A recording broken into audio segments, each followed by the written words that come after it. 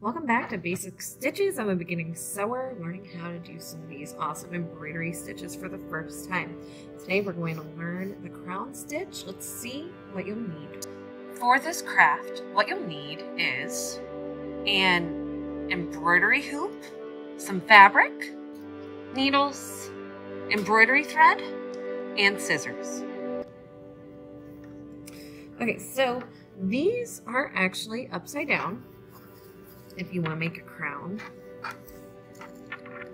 So what you do is you start by bringing your needle through the back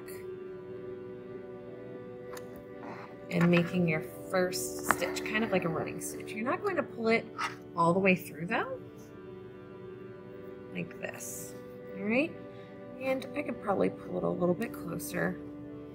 But what I'm going to do is where you want your needle I mean, your, where you want your middle stitch to be.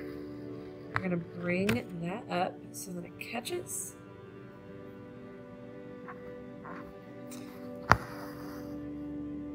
Like that. And um, mine was a little loose, which is why the thread's like that.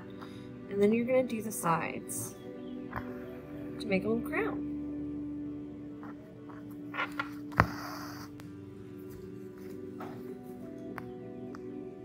All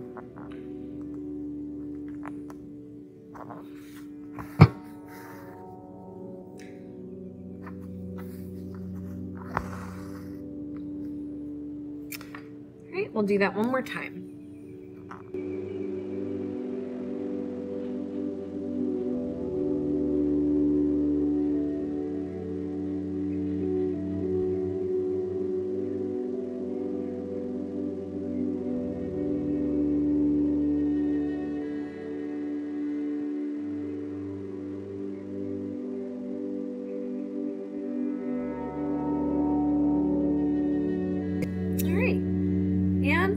That is how you do the crown stitch.